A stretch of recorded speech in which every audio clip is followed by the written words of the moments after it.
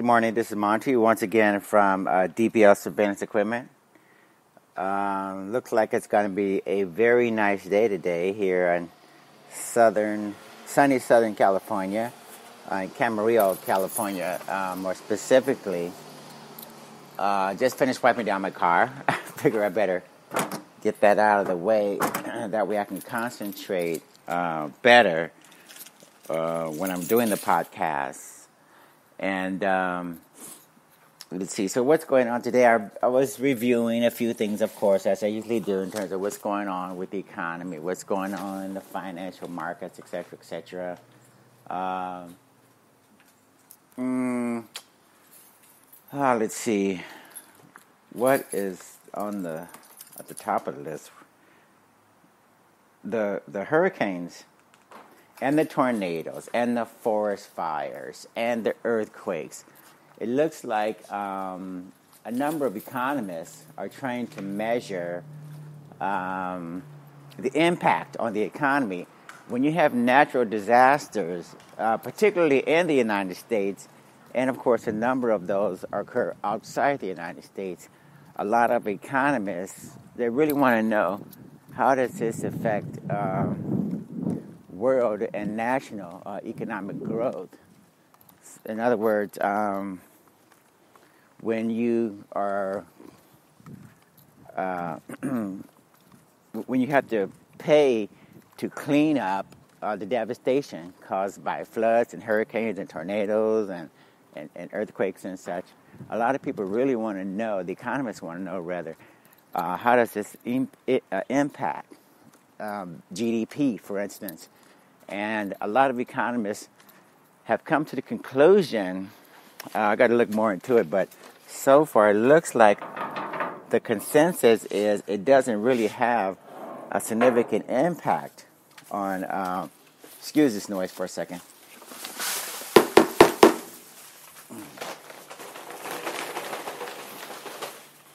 On GDP, in other words, uh, what you really want to know is whether or not um, the economy could be growing uh, faster or or whether or not the economy is actually, you know, experiencing a setback. One second. Overall, when it, when it comes to uh, paying for the cost of cleanup, et cetera, et cetera. Um, and so far, the consensus again seems to indicate that, um, you know, the, the economy rebounds uh, uh, significantly well, but you got to read between the lines because just because some idiot economist tells you that, you know what, forget about all the cars that were damaged because of flooding in Houston, uh, because people are going to have to go out and buy new cars, right, uh, to replace the uh, the ones that got damaged. Well, that's one way of saying that this is stimulating the economy, but you may ask yourself, is that is that really the proper way to stimulate the economy? In other words, if if you didn't have to go out and and and and um, buy a new car or replace the one that, that was just that, that was working just fine. Um, if you know if insurance companies didn't have to bail out all of these homeowners to buy to buy new houses or or, or um, because not not everybody gets a new house, right? Some people decide, you know, well, this is enough is enough. I need to get out of this floodplain or get out of this earthquake prone area or get out of this tornado alley and locate somewhere else. So, a lot of the temporary stimulus that I think the economists and certain people are, point, uh, certain people are pointing to really doesn't paint the whole entire picture in terms of uh, all the moving parts that typically go on. So, anyway, that was my two bit, my two cents on on that particular. Um, scenario in terms of whether or not um, natural disasters are doing more harm than good. Uh, my name is Monty Henry, by the way, you guys. I run a, sur- a full service surveillance and security equipment company. We have lifetime guarantees and warranties on all the products. We have 24 7, 365 tech sales and customer support. We have the largest inventory of items that not only can you buy, but you can rent or lay away as well. And we have a growing um, amount of information, educational information in the way of podcasts, blogs, demonstration videos. Um, what else? uh, demonstration videos, articles, podcasts, and blogs. Uh, all of them are free. Share them with other people. Download them. Do whatever you want to do. Distribute them out uh, for you know uh, discussions and, and, debates or whatever you want to use. I don't care. Um, we try to raise raise the educational level uh, of, of, of society or anybody who wants to increase their knowledge in such certain areas.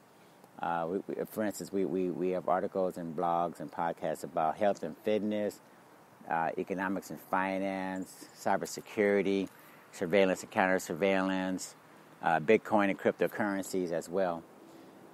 Um, also, we do accept Bitcoin and cryptocurrencies in our shopping cart. It's been upgraded and uh, works very well. So, you crypto millionaires take some of your millions and go and buy your favorite spy gadgets from us. They're all lifetime guaranteed and warranted products. They're state of the art, and um, use your crypto money. Some of that we know. We know some of you got in early, and, and you're doing quite well because I, I know the feeling because we got in early as well. So we, we know how, we know what kind of situation you're in, definitely. And um, what else? The website has been completely redesigned and it works well, looks good, and um, we're putting some final tweaks on just a few things uh, on the website. Um, let's see, I can't remember what exactly it was. nothing very important. Most of the important things are done. We're going to integrate tracking capability so you can track your shipments and get notifications and all of that stuff. So that's a minor tweak, basically. Um, in addition to that, we're, we're trying to phase out the use of MasterCard and Visa American Express, as I say every single time, and I'll say it a million times more, we need to wean ourselves off of the rewards points or blood money that's given out to us by MasterCard and Visa and American Express and Discover. Those guys are bloodsuckers, they're rent seekers, and the cryptocurrency industry is going to re- completely replace the, the, the, the, banks and the financial institutions and the credit card companies and the merchant processors and the intermediaries. So just make sure you guys understand that's a dinosaur dying industry. They're sapping $70 billion alone from merchants and retailers in the ways of discount fees and settlement fees and batch fees and service fees and every miscellaneous type of fee that they can label and stick on a piece of paper. Um, in addition to that, they're draining $700 billion a year from the remittances industry. That's the industry where you send money to your loved ones um, from Mexico to the United States or vice versa, or from one country in Africa to another country, or from Philippines to the United States or vice versa. They, they take $700 billion at least out of each and every one of our pockets for things such as sending digits and bits and bytes across the internet and from computer to computer, and it doesn't make any sense, okay? So uh, make sure you understand that use cryptocurrencies, use Bitcoin and blockchain, Ethereum, like all these technologies to get that money back and forth and to circumvent and expedite the downfall of the um, traditional finance industry. Now, also, we have an article, believe it or not. This article is part of our regular series. Uh, it's called The Economy Stupid. And as part of The Economy Stupid, and we're on episode um, 24 uh, amazingly. We we have all the we're all the way up to 24, and it's the economy stupid. Now the economy stupid is named that way because President Clinton, as far as I can tell, he was warning uh, consumers and taxpayers and businesses and certain and, and, and everyone that, that would listen to that there are certain things that are within your control and certain things that are beyond your control. When it has to do with the economy, don't beat your head against the wall. Just realize there's a large macro um, uh, dynamic out there, and you can't control it as much as as as you would like to. So you you just understand that um, things are happening on a macro level, and you and you have to plan and prepare, and and, and not so much. Um, uh, react to these things uh, as you know in a way that a lot of people would ordinarily react to things that they things that they could control. So on a micro level, you can control a lot of things, but on a macro level, the larger big big economy, you can't. So let's dip into the, today's uh, episode 24. Federal Reserve considers a new tool to avert crisis. Some officials favor demanding banks stock up on capital while the economy is strong. A, de- a decade after a financial crisis that paralyzed the global economy, uh, Federal Reserve officials are debating how to apply one of the essential lessons they drew from that dark episode. It, it, it involves preventing the next crisis from happening on their watch. Um, the Fed has two tools for stamping out financial bubbles. It could use either regulation or interest rate increases to prevent banks and other financial institutions from getting carried away during an economic boom. Many Fed officials concluded after the last crisis that it's best to use regulation. They can apply that tool surgically while aggressive interest rates while aggressive interest rate increases like taking a sledgehammer to a nail might damage the broader economy in the name of financial stability. Some Fed officials want to use one of the regulatory tools the central bank developed after the crisis called a countercyclical capital buffer. It can require the U.S.'s largest banks to sock away additional capital during good times so they have more to fall back on when loans go bad during, uh, time, uh, during bad times, like socking away oil in the nation's strategic, strategic oil reserve. Um, now, I just want to add that the um,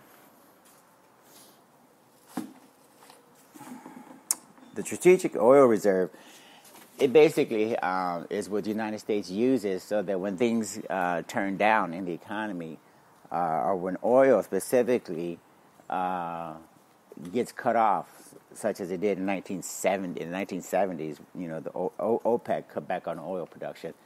Uh, or, I'm sorry, they, they t- typically um, um, cut the amount of oil coming to the United States, so we had to dip into the, the petroleum reserves. Um, but that's not the point, actually, that I wanted to make. The point I wanted to make is this counter cyclical capital buffer.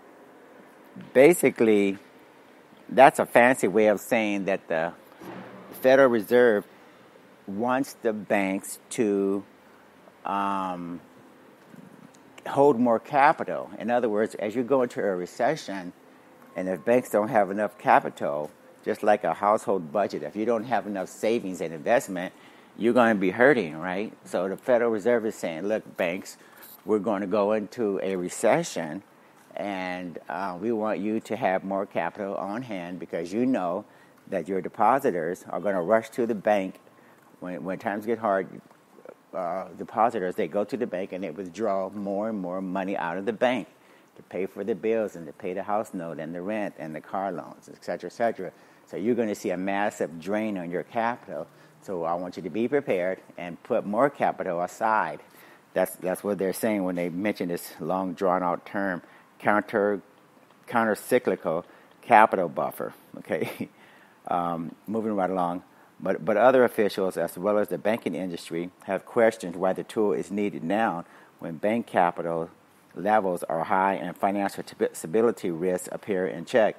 And this is also pretty stupid because um, you do these things when times are good, right? You, you, you save more money, you invest more money when, when times are good. As they say, make hay while the sun shines. Look, look it up. That's a saying uh, make hay while the sun shines. That implies that when times are good, you, you, you, you do the things that you need to do while they last. In other words, if you're working overtime at the job, or, you, or if you get the opportunity to work overtime at the job, you work as many hours as you can while it's being offered. If you're a farmer, you you you you you create. Mean, you you uh, do as much farming and you do much as much planting as you can while the sun is out and, and, and everything is conducive to, to getting large crops. You do all that work now as compared to when winter comes, right? You're not going to be able to do as much. So you make hay while the sun shines. It's an old saying. One reason for the concern is that asset prices are booming. U.S. household net worth, a function of rising stock and real estate values, was nearly seven times household after tax incomes in the first quarter, according to the Fed. That's higher than um, that's higher than during the tech boom of the late 1990s or real estate boom of the 2000s, both of which ended badly. Now this is a blatant lie, actually. This part about um, household wealth, mainly because um, when the when they when these uh, media companies, Wall Street Journal, New York Times, whoever, when they write these articles about household wealth um, increasing and looking very healthy and all that, they're referring to one or two percent of the entire population. In other words, when they look at the amount of stocks, real estate, bonds, gold, whatever, these things are making up uh, the household wealth of the people they're surveying that usually means that um, if you have stocks and real estate and bonds and gold and all these other assets increasing in value, you're amongst the one or two percent. That's not the general population. So again, when they talk about household wealth um, being high and picking up and all that, they, are referring to a, a group of people that is not typical of the larger population. Just want to make that distinction. So read between the lines and don't believe the hype one reason for their concern is that asset prices are booming. Uh, let me see. Okay, we read that. Um, capital is long-term money a bank draws on to make loans, coming largely from shareholders and retained profit profits. Uh, it represents funds the bank isn't on the hook to pay back right away, like a bank deposit. When a loan portfolio go when a loan portfolio goes sour, that creates an important cushion in a, in a shock when depositors and others demand their money back quickly from their banks. Again, when you have a recession, um, depositors are going to get that money out of the bank and, and, and, and they're going to try to, you know, pay bills and buy groceries and put gas in the car because that's what they do, okay, during a recession. So, um, forcing banks to hold additional capital might take some pressure off the Fed to raise rates, raise interest rates very aggressively to cool the economy if it overheats. Some officials also like the tool because the buffer can be reduced when an actual downturn hits, providing relief to banks when they really need it. So, again, all this is in preparation um, for an, an, eventual bad outcome, uh, such as a recession, as compared to um, waiting to the last minute. Officials in other places like the UK, Ireland, France, and Hong Kong have raised their capital buffers while the Fed is set at zero. So other countries look like are taking the um, are being proactive and they're making preparations and they're far away, far ahead of us as compared to waiting and pleading with the, the banks who obviously um, are lazy and, and stupid and, and, and want to procrastinate and, and, and, and instead they're going to screw up the economy like they did before, and then they're going to ask for a bailout. So that's, that's what happens. This would be a good time to be raising their capital, uh, raising that capital buffer, said Cleveland Fed President Loretta Mester in a July interview. In good times, you raise it. Not using it now puts you in you, you puts you more into the camp of using interest rates to guard against financial instability. She added. It was a subject of discussion at a Boston Fed conference Friday and Saturday Ms. Mester is among five regional Fed bank presidents pushing for a move, but the authority isn't in their hands. Instead, Fed governors in Washington, overseen by board uh, chair, uh, chairman Jerome Powell, make the decision, voting at least once a year on its, on its level. Uh, one Fed governor, uh, Lael, Lael Brainard, has publicly backed increasing the buffer. Mr. Powell hasn't weighed in publicly except to say in June he didn't think uh, financial st- uh, stability risks were mean- meaningfully above normal. Now, again, Powell is not being realistic in terms of understanding that you have to be proactive. You don't wait until the enemy is right there in front of you. you typically want to take some um, precaution and do and be prepared ahead of time versus waiting moving right along. Banks and some Fed officials argue against the move. One reason is that big banks have already built up substantial levels of capital. Among banks with assets greater than $50 billion, so called Tier 1 capital was 12.7% of assets in the first quarter, compared with 8.5% in 2008. Another, another limitation of the rule is that it only applies to big banks.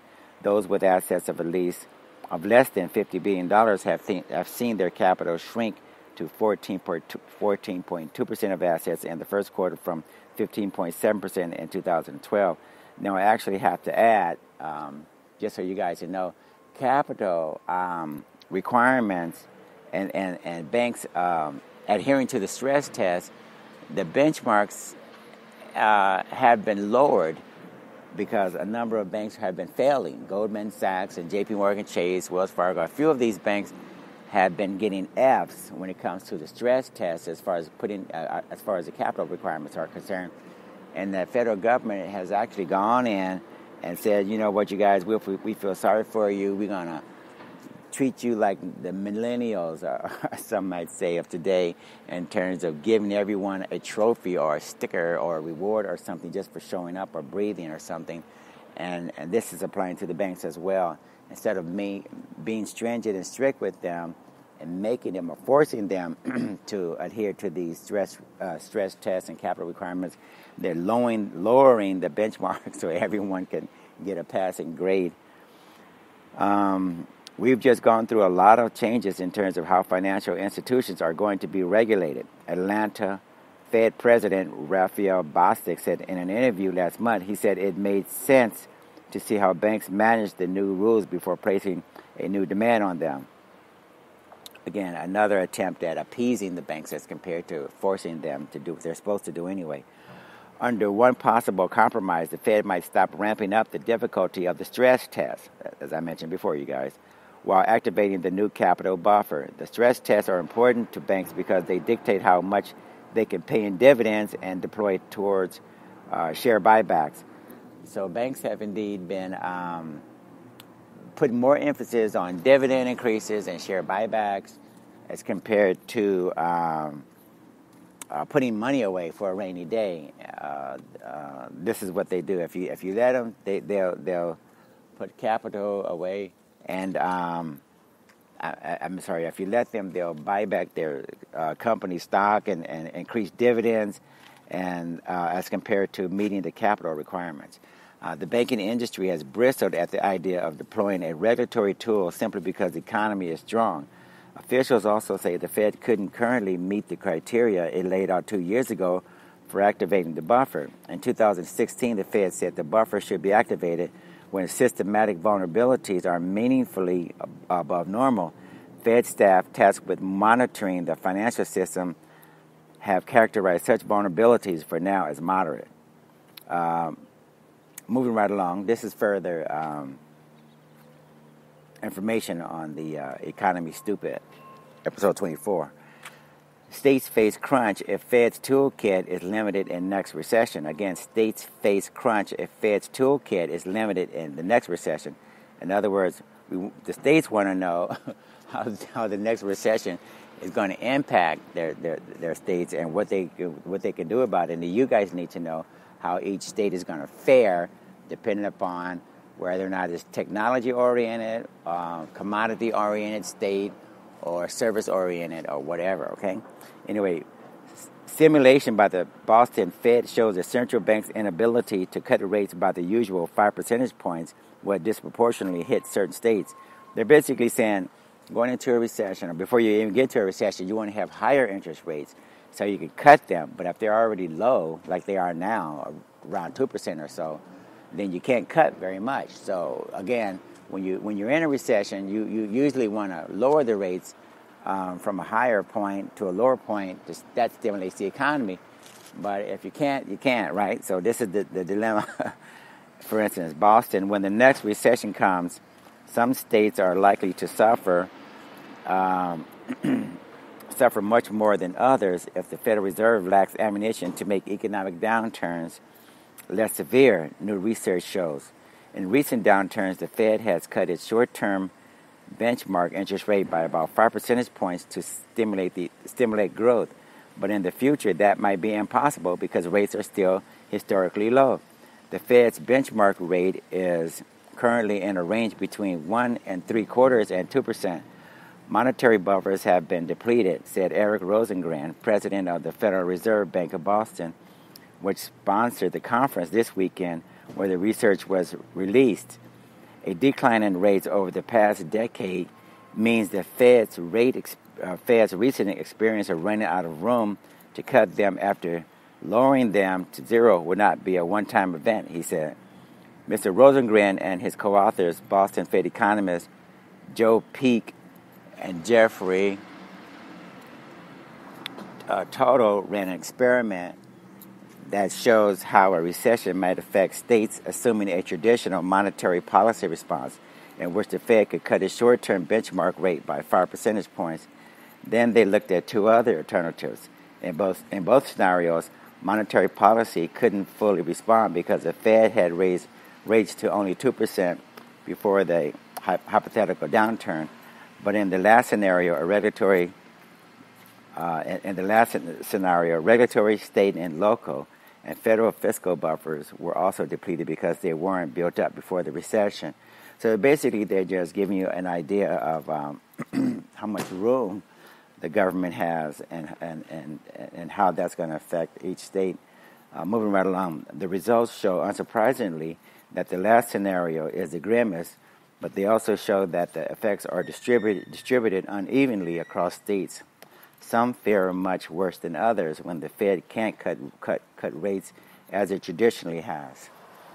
States with industries that are sensitive, sensitive to both economic cycle and interest rates think of uh, think of Michigan with its heavy dependence on the auto industry could face a uh, could face a much worse downturn than Midwestern states that are having agriculture, which is less exposed to a cyclical downturn. So this makes sense, you guys. Um, if your state is um, heavily invested in agriculture, and that's where most of your income comes from as a state, and you may not fare as badly or do as badly as a state like Michigan, whose economy is based upon automobile sales, right, and manufacture.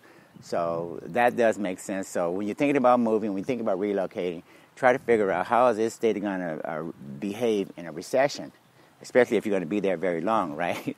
if you're, you're in California or some states with a huge emphasis on agriculture and it's, you know, pretty widely diversified anyway in California, it should not fare as badly as some other states that are dependent upon uh, some, some, you know, like something like exclusively automobiles, almost like, you know, like Michigan. Moving right, moving right along. State of policy. New research suggests changes in per capita personal income growth would hit some states much harder, depending upon how aggressively monetary policy can respond to a recession. Take the first example, in which monetary policy is able to respond as it traditionally does. Here, 16 states avoid declines in inflation adjusted per capita income, including many southern states. In the second scenario, where monetary policy is limited, but the other policy buffers are available, all states experience declines in personal income. Midwestern states that depend on agriculture avoid some of the sharpest declines. Again, reiterating what we said earlier. The southern states that managed through the recession in the first simulation fare worse in the second example. In Alabama, for example, per capita income falls 1.9% versus nearly no change in the first simulation. In the final scenario, the southern states that didn't see any income loss in the first simulation are now among the states most severely adversely affect, uh, impacted when all policy buffers are insufficient. Uh, personal income falls even further by 2.7% in Alabama.